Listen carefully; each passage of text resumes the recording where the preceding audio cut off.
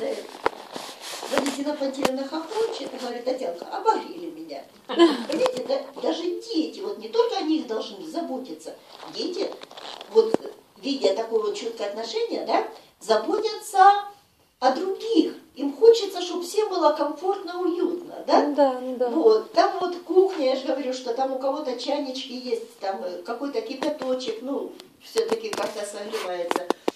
Кухня, говорю, девочки, пока вот сегодня света нет, ставьте большую кастрюлю, вот сегодня бегают за водичкой горячей, ну что, напились горячей водички в промежутках, там покушали, там что-то выпили горяченького.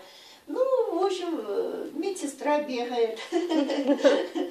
Ну и я вам скажу, что э, как-то стараемся, девочки, вот э, здесь стекла берегут, там моют, там еще где-то. Вы обратили внимание, вот я всегда говорю, когда-то пришла санитарная станция, говорит, ой, это вы к нашему приходу, это, вы знаете, я не работаю не на комиссии, я работаю здесь ради детей и создаю им нормальные условия. Детям нужен свежий воздух, да, они, мозги у них какие, да, поэтому я буду это делать, несмотря ни на что. Ну и дети любят порядок. Если вы обратили внимание, прошли, ни одной бумажечки у нас не... И вы придете в любое время.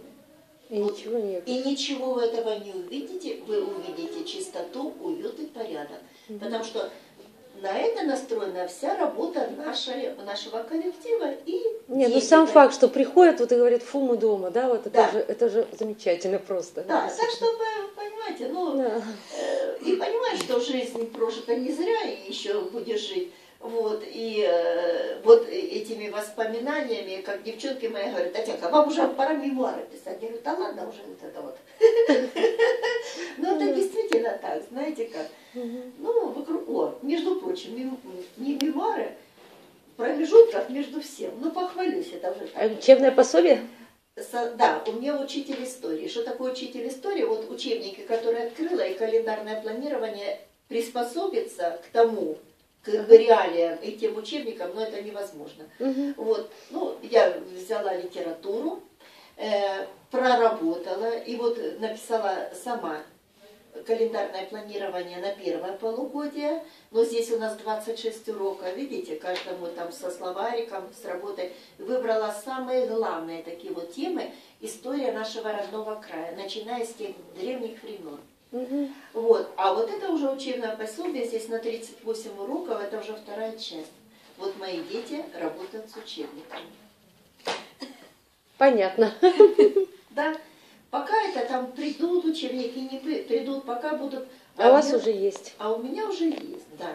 Ну, я еще даже вот на Украине, э, ну, это я сделала, отдала в шкільний світ в печать.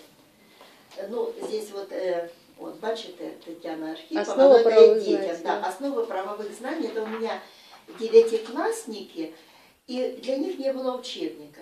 И я тоже села, проработала все темы, да, Ага. но здесь оно более такое, знаете, э, ну, для этого я год сидела, кропотливо работала вот с, с этими, с рисунками, схемами, совсем. Ну, естественно, кто же теперь, а, кто я это, кто, кто я?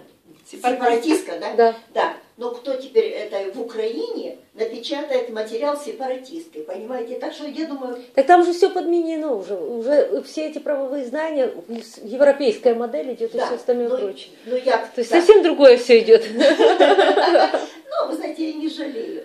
Э, вот. Лучше, лучше правда и лучше. э, Оно все равно не пропадает зря. Оно все равно остается. Где-то доработается, где-то Да. как-то, где-то поменяется вот по реалиям и все. Так что, знаете, вот так вот э, стараемся детям давать знания, реальные знания давать.